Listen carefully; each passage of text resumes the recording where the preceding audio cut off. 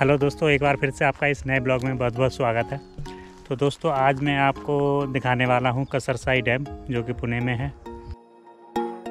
तो दोस्तों, कसरसाई डैम है, जो कि मैं अपोजिट साइड में आ गया हूँ तो मुझे वापस उधर जाना पड़ेगा। तो मैंने सोचा पहले थोड़ा सा इधर आ गया हूँ तो इधर एक्सप्लोर कर लेता हूँ।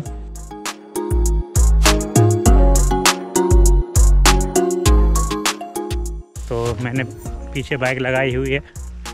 बट अभी मुझे आगे जाना है उधर। अभी मुझे उस साइड में जाना है।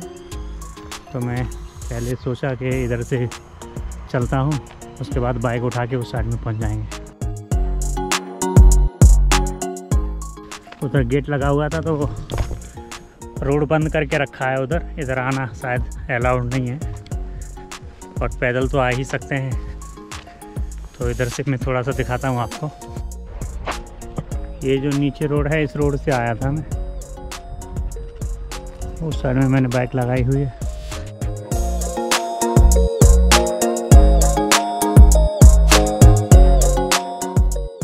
तो इधर से काफ़ी अच्छा व्यू आता है।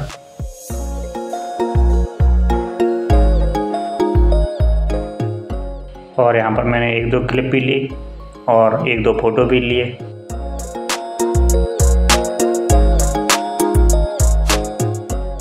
जैसा कि आप ये वाला देखें तो ये काफ़ी अच्छा व्यू आ रहा है यहाँ से ये मॉर्निंग के टाइम पे और अच्छा व्यू आएगा। बट इधर जा नहीं सकते आगे बाइक से आई थिंक रास्ता ब्लॉक है। तो दोस्तों, मैं अभी ऊपर हूँ, अगर आप इस साइड में देखेंगे तो ये खेती वगैरह होती है। और यहाँ पर कुछ किसानों के घर वगैरह भी हैं नीचे। और इस साइड में पूरा। पानी पानी है ये डैम बना हुआ है। पानी कम है अभी बरसात का मौसम नहीं है ना इसलिए पानी कम हो गया है। दोस्तों एक मेरी कंप्लेन है आपसे। एक्चुअली आप लोग मैं बोल नहीं रहा हूँ तो आप मेरा पूरा ब्लॉग नहीं देख रहे हो। तो प्लीज़ पूरा ब्लॉग देखा करो। तो अभी पीछे की साइड जाते हैं उस साइड में। तो उस साइड में जाके कुछ कनेक्टिविटी करेंगे। तो मैं अभी इस साइड में आ चुका हूँ। बाइक पीछे पार्क की हुई है मैंने तो इधर बोटिंग वगैरह की व्यवस्था है। बोटिंग वगैरह कर सकते हैं। तो देखो, क्या करते हैं हम।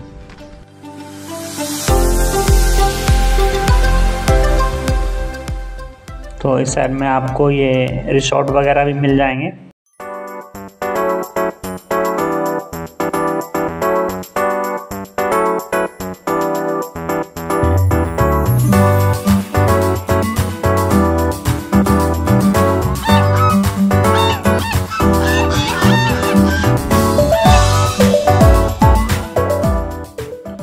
पर बहुत ही प्यारी बतख थी।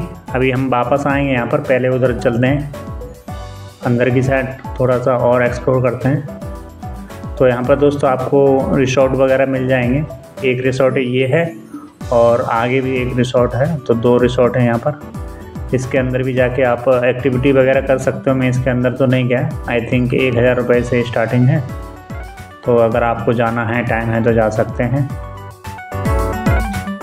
और पार्किंग पार्किंग वगैरह की कोई दिक्कत होने वाली नहीं है। बहुत सारी पार्किंग है तो कोई टेंशन नहीं है।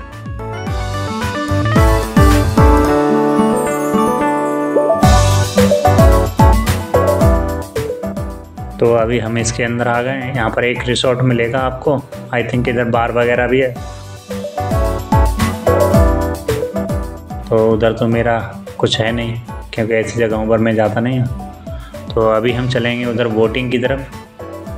तो हमें करनी है बोटिंग तो यहाँ पर मिलेगा आपको बालाजी बोटिंग क्लब ये अच्छी बोटिंग देते हैं, इनकी सर्विस वगैरह ठीक है। जो किनारे पर हैं, उनसे कहीं ज़्यादा एरिया इनको मिल जाता है, क्योंकि ये मिडिल में है तो इनको ज़्यादा एरिया कवर करने को मिल जाता है। तो ये बहुत अच्छा एरिया कवर कर लेते हैं बोटिंग से। तो अगर आप जाते हो तो इनका बोटिंग ले सकते हो।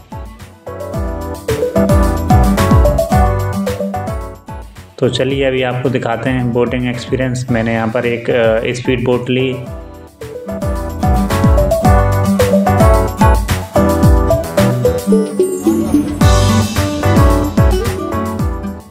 आप जो ये सामने बोट देख रहे हैं, ये स्पीड बोट है और ये सिंगल पर्सन के लिए है।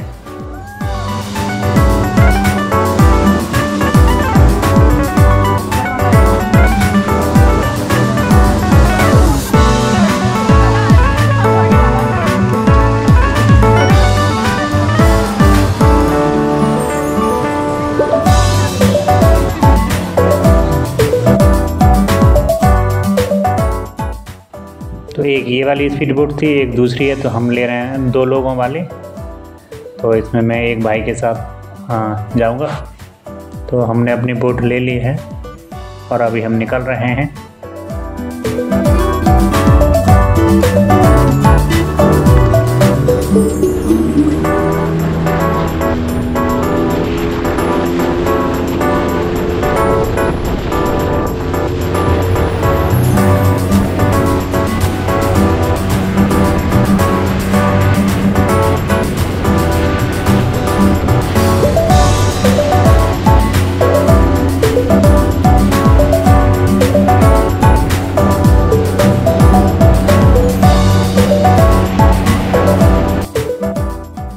तो दोस्तों आपको वीडियो में इतने स्टंट नहीं दिखे होंगे, लेकिन भैया ने काफ़ी स्टंट दिखाए थे, काफ़ी स्टंट किए थे।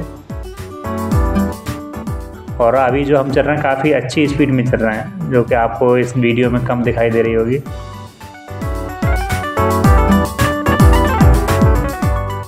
तो ये एक यादगार एक्सपीरियंस बना दिया है हमारा भैया ने।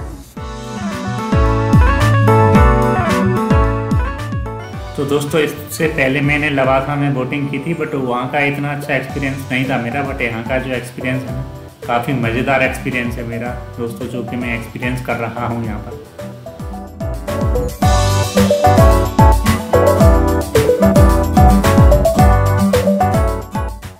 दोस्तों, अब चला गया है मेरे कैमरे में पानी तो मैं थोड़ा सा कैमरे को सुखाता हूँ और उसके बाद फिर मिलते हैं।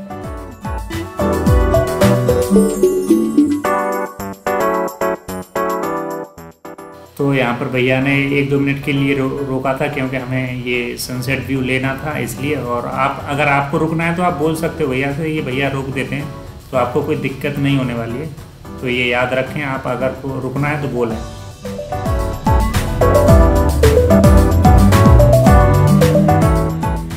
तो एक बार फिर से हमारी बोट ने पकड़ ली है स्पीड काफ़ी स्पीड पकड़ ली है।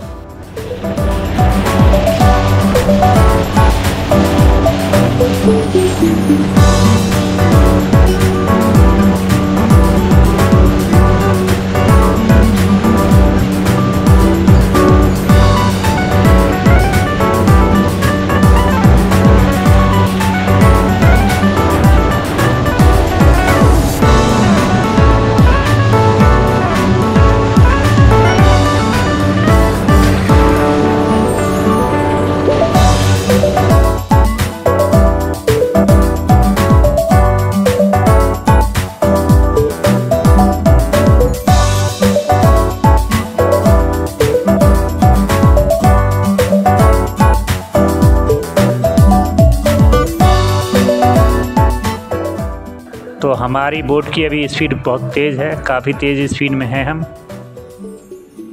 तो जैसा कि आप देख सकते हैं कितनी स्पीड है।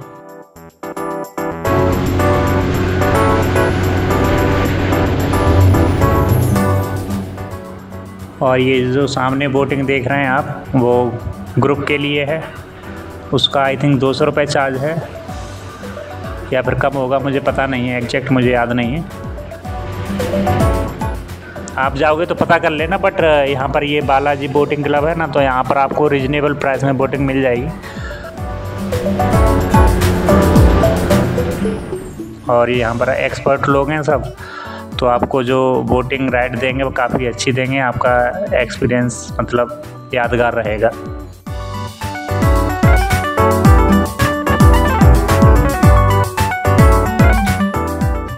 काफ़ी अच्छी बोटिंग रही मेरी। काफ़ी अच्छा एक्सपीरियंस रहा भैया ने अच्छी राइड की थी। तो अभी हम बाहर आ गए हैं बोटिंग करके।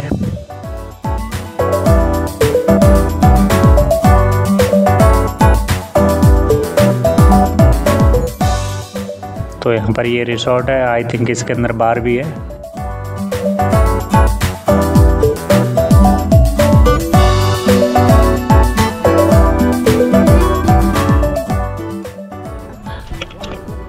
दोस्तों, इस डैम पर आपको दो रिसोर्ट भी मिल जाएँगे। एक रिसोर्ट एक रिसोर्ट पीछे था, बालाजी बोटिंग क्लब के पास, और एक रिसोर्ट ये है। तो यहाँ पर भी कुछ एक्टिविटी होंगी। यहाँ पर तो मैं जाने वाला हूँ नहीं अंदर, क्योंकि मुझे लेट हो रहा है। अभी थोड़ा सा और एक्सप्लोर करना है, आगे की साइड उस क्योंकि सनसेट होने वाला है।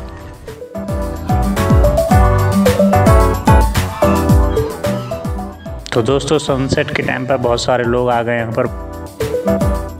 कुछ कुछ चीज़ें दोस्तों, यहाँ पर गलत लगती हैं मुझे, जैसे कि जैसे कि सिगरेट पी रहे हैं और बच्चे भी होते हैं तो उनको हमारे समाज के हिसाब से या फिर हमारे भारतीय कल्चर के हिसाब से वो चीज़ें सूट नहीं करती हर किसी के लिए। तो ये बाकी आप लोग स्वतंत्र भारत के स्वतंत्र नागरिक हो तो कुछ भी करो, कोई नहीं रोक रहा आपको। तो दोस्तों, अभी मैं आपको दिखाने वाला हूँ सनसेट व्यू पूरा। तो आप बने रहिए यहाँ पर, मैं आपको पूरा सनसेट होते हुए दिखाऊँगा इसी वीडियो में। और काफ़ी अच्छा ब्यूटीफुल व्यू आया है तो आप देखिए इसको।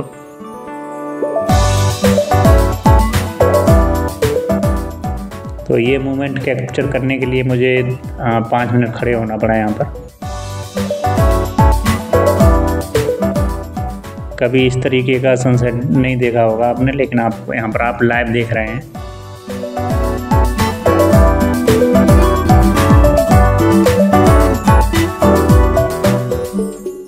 आप देखिए, सूरज ढलता हुआ आपको दिखाई दे रहा थोड़ा सा और बचा है। तो यहाँ पर फाइनली पूरा सूरज डूब चुका है। तो अभी हम यहाँ से निकलते हैं, क्योंकि हमने पूरा सनसेट व्यू ले लिया है, पूरा कैप्चर कर लिया। आप कमेंट करके मुझे ज़रूर बताओ कि ये व्यू आपको सनसेट व्यू कैसा लगा। और दोस्तों, मुझे कमेंट करके बता दिया करो फीडबैक दिया करो, जिससे कि मैं और ब्लॉग को इम्प्रूव कर सकूँ। तो यहाँ पर ये बदक कुछ अपना खाना भी खा रहे थे और यहाँ पर तैर रहे थे। तो काफ़ी अच्छा मोमेंट था ये। काफ़ी अच्छा फील हुआ मुझे यहाँ पर।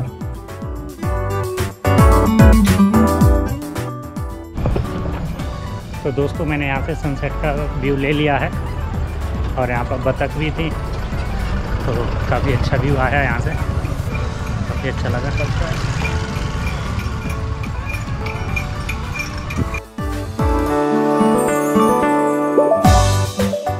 तो आप इस साइड में जाएँगे तो इस साइड में भी आपको छोटी मोटी दुकानें वगैरह मिल जाएँगी तो कोई दिक्कत नहीं है।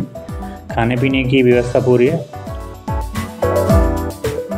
तो आप देख लीजिए, आप जा सकते हैं, फैमिली के साथ भी जा सकते हैं अच्छा। है तो दोस्तों, आज के ब्लॉग में बस इतना ही। मिलेंगे नेक्स्ट ब्लॉग में, तब तक के लिए bye bye and take care.